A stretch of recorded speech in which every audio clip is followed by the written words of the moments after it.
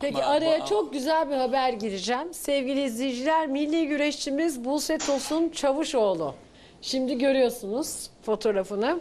Dünya Güreş Şampiyonası kadınlar 68 kilo finalinde Moğol güreşçiyi yenerek altın madalya kazandı.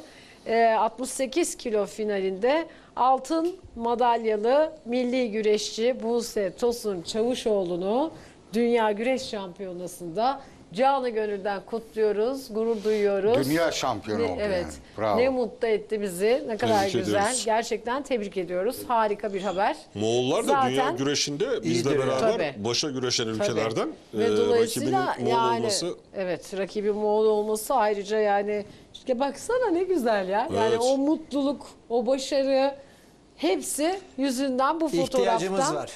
Tabii böyle güzel şeylere ihtiyacımız var. Vallahi